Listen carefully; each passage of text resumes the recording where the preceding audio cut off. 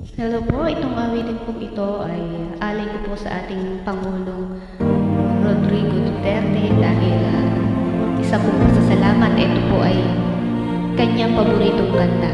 So, iniaalay ko po ito para sa kanya. Thank you so much po, Pangulong Rodrigo Duterte sa anim na taon na pamamahala sa ating bansa.